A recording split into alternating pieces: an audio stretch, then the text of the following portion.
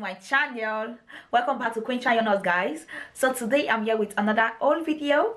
So today i'm gonna teach you guys rather i'm gonna show you guys how you can style your old clothes which is your old skirts your short skirts.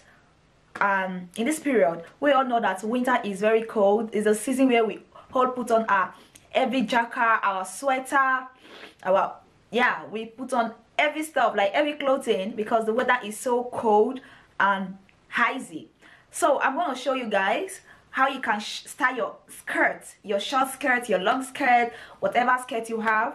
It's not necessary a new one your old clothes your old skirt. I'm going to show you how you can actually style your skirts in this period. Like yeah i do wear short skirts in winter.